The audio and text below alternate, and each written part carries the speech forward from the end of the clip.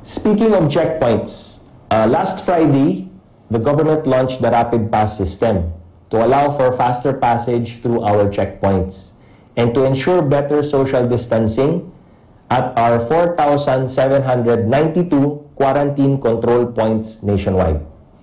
Para sa mga nabigyan na po ng accreditation pass, noon, pwede na po kayong pumunta sa rapidpass.ph para po mag-apply ng pass na ito. Para pag-approve na po kayo sa sistema, a unique and secure QR code and control number will be granted to each authorized person or vehicle. No? Pwede pong i-print ang QR code at ilagay po uh, dun sa kotse. Pwede po rin niyo ilagay sa lanyard, parang ID, para ito ang ipapakita ninyo. No? Pwede rin po na i-download sa smartphone. So, sa mga walang smartphone or printer, uh, the authorized person can also present his control number na pwede naman ni SMS message text po sa inyong telepono.